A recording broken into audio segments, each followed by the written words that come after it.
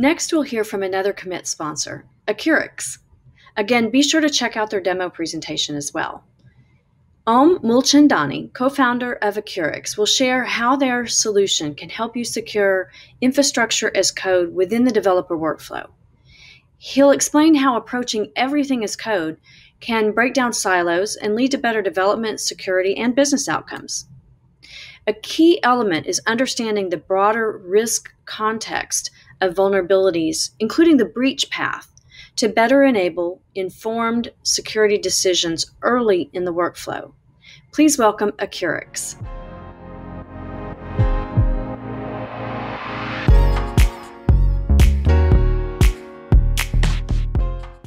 Hello and welcome to my talk on better dev, sec, ops, and business outcomes with everything as code. My name is Om Moolchandani. I'm co-founder, CISO, and CTO at Accurics. Just a bit of fun fact about me. My favorite attack technique is waterhole attack. I love waterhole attack. It lands you directly into the target attack zone where you want to be and bypass so many different security controls. I love cybersecurity and mechanical keyboards. My favorite are Holy Panda switches and SA keycaps. Just a little bit about my company, Accurics. Our mission is to self-heal cloud native infrastructure by codifying security throughout the development lifecycle. We are based out of Bay Area. We are a DevOps native security company, and we are also a GitLab partner. So let's take a look into the agenda today, what we're going to talk about. We're going to talk about how DevOps is changing everything. And when I say everything, precisely what I mean is everything as code is now what is being used to deliver hyper automated applications as well as uh, delivery pipelines.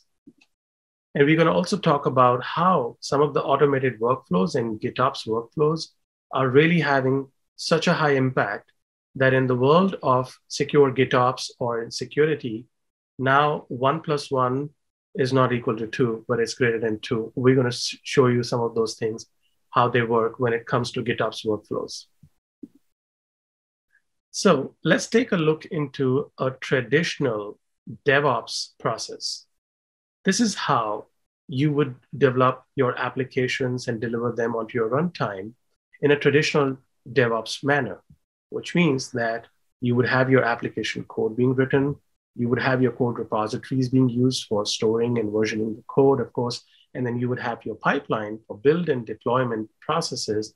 Once your cloud applications are built, you will deploy them on your runtime environment, uh, and they could be AWS Azure, GCP, and many other different types of environment. Now, in this traditional world, there are many different types of security tools that have to be utilized in the entire DevSecOps lifecycle. For securing your application, you would have to use SAST tools for performing statistical analysis, DAST tools for performing dynamic application security testing, software composition analysis tools to discover open source vulnerabilities and package level vulnerabilities for containers. And for runtime, you would have to use CWPP tools for threat protection and you would have to use CSPM and CIM tools for infrastructure misconfiguration detection and possibly remediation as well. But with the adoption of infrastructure as code, what we were able to do was we were able to take this lifecycle process to a next level. We were now able to ensure that declaratively you can define your infrastructure, of course, in a codified manner, but then infrastructure as code opened up also the possibilities to detect your security misconfigurations from infrastructure point of view also by scanning this code. So that means a lot many use cases in the cloud security posture management space could be shifted to left. That means you can now do early detection of infrastructure misconfigurations and possibly remediate them as well. Now, so far, so good. But there are many other tools that are being used in the DevSecOps pipeline in, in particularly in case of um, the fact when you're using DevOps lifecycle, SAST, DAST, SCA, and now you also have shifted your CSPM to that. So if you do not make meaning out of the results produced by other tools, you will not be able to then perform better risk analysis and determine what will be the impacts for the different vulnerabilities and the results that you're getting from other security tools onto your runtime. Now, so far, it's okay. You still get a lot of opportunity to do this analysis in the DevOps pipelines.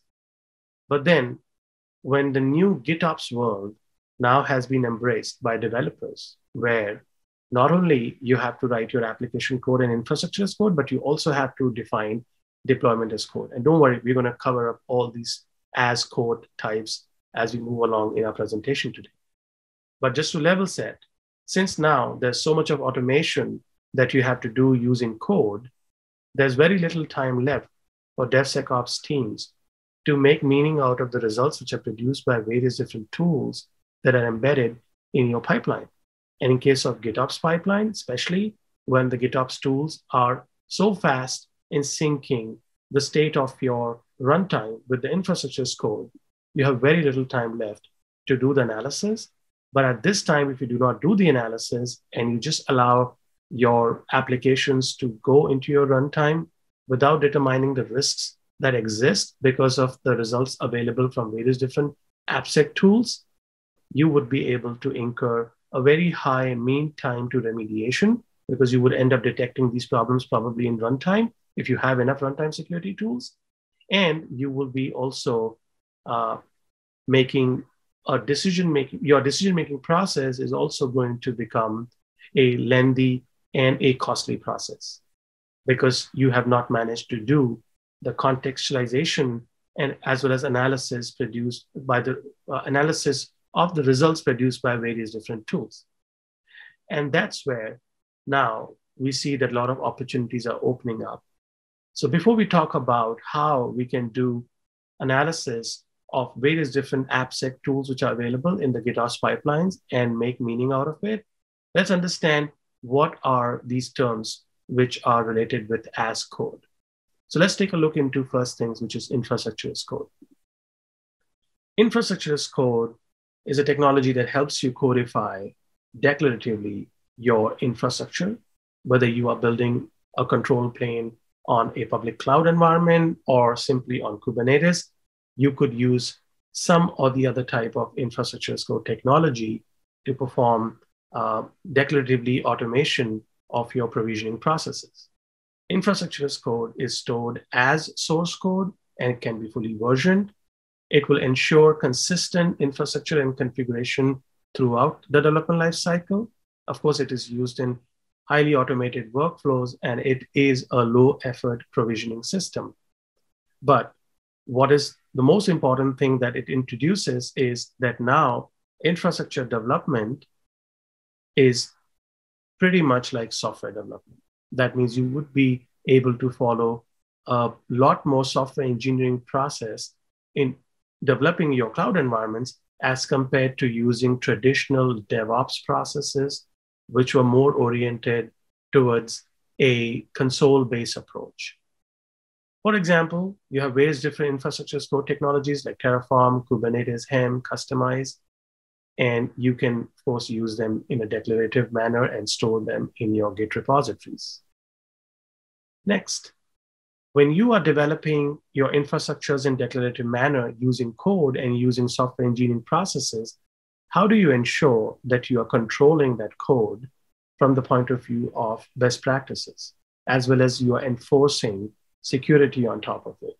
You could also have some operational requirements that you want to enforce on this code so that even before your runtime environments are built, you are able to ensure that they are compliant. That's where policy as code comes in. So, what is policy as code? It helps you codify operational as well as security policies. It can be stored as source code and version. Again, it becomes a component of your software engineering process for building infrastructure. It helps you consistently enforce policies across your development lifecycle for the infrastructure as code, as well as throughout the pipelines that you might be using for provisioning processes. Again, it's a low effort enforcement technology, which helps you define programmatically your policies, and you can distribute them throughout your development lifecycle, as well as to your development teams to enforce the policies consistently across all different development environments and infrastructure environments. Some of the examples are let's say you want to enforce that you do not want environment variables to be used for secret storage. You can create a policy and you can have that enforced across your infrastructure as code development processes. And we'll see what are some of those workflows that can allow us to do that. Similarly, if you want to limit uh, your containers from having uh, root privileges or privileges which are considered super user privileges, you can write a policy to do that so that none of the containers that contain such privileges can go into your runtime. These are some of the advantages of policy as code. So, what exactly is GitOps and how we can use everything as code within GitOps? So, the official definition says that it is a code based infrastructure and operation deployment practice that relies upon a version control system built on Git. And it uses infrastructure as code and DevOps for high velocity CI CD for Kubernetes. This is what the official definition says, but a more refined definition uh, that community now is latching on to comes from uh, following uh, statement that GitOps is also used for describing tools that use Git as single source of truth for storing IAC and which helps you deliver applications and deploy Kubernetes clusters, apps using pull request based mechanisms. Some of the examples are Argo CD, Flux, Jenkins X, Skaffold, Kernigor Tekton. GitLab now also has its own GitOps tool as well. So essentially, GitOps is basically a combination of Git, infrastructure as code, and DevOps. So, what are some of the common automated GitOps workflows? Well, let's take a look into a typical automated workflow. So you have your local environment as a developer. You may be developing applications or you may be writing infrastructure as code. You would use a Git-based storage system, such as, say, GitLab, to store your source code and version control it. And then you would use GitOps tool chains to achieve following outcomes. Number one, you would be using the GitOps tool chain to deliver your build pipeline or your build lifecycle stage, which is going to result in compiling, interpreting, or just packaging source code um, of your application into a, in this particular example, a container image, or it could be some other package as well. But let's talk about containers uh, as kind of that makes it more easier for us to deliver applications. Once your containers are packaged and your images are ready, then you would require to write specific infrastructure as code, which we're going to talk about later in our presentation, which is going to basically declaratively use and define where these container images are going to get deployed. Once you have your infrastructure as code written, you can then define the further pipeline structure by writing deployment as code. Like, for example, you can write uh, GitLab configuration files, which are going to define that how this infrastructure as code is going to be utilized to deliver application, which is packaged in your container image, to your runtime. And that's how a simple workflow like this can bring automation to such a level that the developer is just focused on writing application code or infrastructure as code, but rest of the pipeline, rest of the processes are all controlled by GitOps toolchain, which directly accomplish build, provision, as well as deployment for your applications on various different control planes like AWS, Azure, GCP, Kubernetes. So, with so much of uh, automation available in the GitOps pipelines, how do you ensure that you are securing your pipeline and you process it at every stage? That is where you can use infrastructure as code, policy as code, and security as code together to deliver this outcome. So, First things is that all as code technologies are there to declaratively define your desired state for that particular target uh, outcome. For example, infrastructure as code works upon defining declaratively the state for your infrastructure. Policy as code works towards declaratively defining your policies. Security as code also works towards declaratively defining your desired state for security. So, how does security as code work? Basically, when you have to perform automated assessment and decision making ahead of time, that means ahead of your runtime environments when before they are built, you would combine all these different as codes together and achieve such automated assessment and decision making. So you would use everything as code and GitOps to derive a framework for delivering secure GitOps. And how can we do that? Take, for example, we have we can perform automated security assessment of IAC artifacts such as Terraform, Hemchart, Kustomize. We have those results available in the developer lifecycle. Similarly, we have various other different tools that we are using today in the pipeline, such as SAST, DAST, SCA tools for performing application security assessments. So we have the results available from them.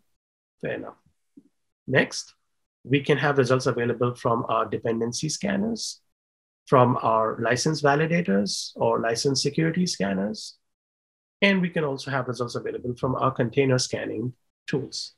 All these results are available before the runtime environments are built. When you start combining the results from all of these different sources and define your security policies accordingly, for example, you have a security policy that I do not want a container image any container image which has got uh, at least one vulnerability with CVSS score 9.0 and above. You can carve such a policy.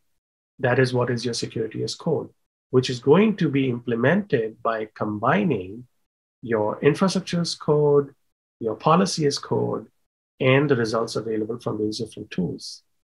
And you can use such a policy now to first take decisions whether you want to deploy such applications in your runtime or not. You can even halt the cluster sync processes if there are violations for such policies. So, this is how you achieve secure, automated GitOps workflows. Let's take a look into some examples. So, in this particular example here, we can enforce these policies as, at various different stages. We can enforce them at local development environment itself.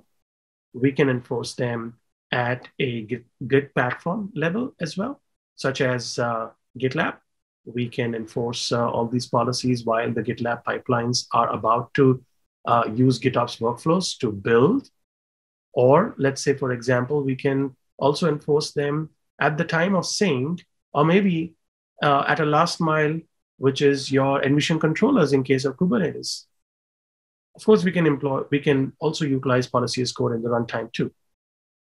Point is that we have various different stages available to enforce everything as code, policy as code, as well as security as code. So, what exactly can we achieve out of it, and why should we even stop there? What it means is that today we see that the DevSecOps teams are struggling to correlate the results from various different security tools that they're using in their pipelines. And one of the big reasons why we see that that is that needle is not moving is because despite of we having all the security information available to us in a codified fashion, we are not piecing them together. So if we start piecing all the information together that we receive from different security tools, at the time of uh, pipeline decision making processes, we can enable better automated decision making, as an example that I gave you. And we will give we will look into some more examples. So another quick example could be that let's say that there is a SAST um, finding reported by a static code analysis tool against a piece of source code. Now, can we determine that this source code is going to get packaged in which container image, and that container image is going to be exposed in which particular manner on the runtime? Like it will be deployed on which cluster, which namespace, will it be exposed to internet? All this information now is available to us when we scan infrastructure as code. But if we start combining the results available from SAST tool, we will be able to enforce security and take the be- better automated decisions using security as code principles. Similarly, is there a storage bucket that was about to get deployed which contains sensitive data and was exposed because of overly permissive IAM roles? All this information is already available with us now with uh, infrastructure as code and policy as code implementation. We now start, we need to start making sense out of all this different information that is available to us. Similarly, if we can start detecting that what are those findings that represent greatest and most immediate threat, we will be able to drive better automated decisions from security point of view and reduce mean time to remediation as well as cost of doing security because we'll be able to do all of this in the development phase itself. Take, for example, let's say that there is an application which is written in Python, for example, and the application code was being scanned by a AppSec tool. It could be GitLab's own AppSec or SAST uh, capability, which reports, say, a vulnerability, a CWE 918 vulnerability, a SSRF vulnerability. Great. And the infrastructure as code scanning tool detects that um, there are other misconfigurations that were being introduced because of the weaknesses in the infrastructure as code on the runtime that would have been built where this application would have been hosted. Now, if we start combining these two data sets together, one reported by AppSec tool, the other reported by IAC scanning tool, we could detect this entire breach path that you're seeing on the screen in the development phase itself, that you were about to deploy an application which had an SSRF vulnerability on an EC2 instance, which was misconfigured. Possibly it, it also had instance metadata service v1 enabled and also has an IAM role, which allows access to the database, which is unencrypted. So if the attacker walks on this path, there's a direct path available from application penetration or exploitation to the data exfiltration. So all these smart detections can be done ahead of time and decisions can be made. I do not want such application to be deployed unless such vulnerabilities are fixed. Although the AppSec tool will continue to report these vulnerabilities, but somebody has to start make meaning out of all these different uh, results which are available. That's where uh, what we are proposing at Accurics is that the developer first approach to security is now needed for DevSecOps.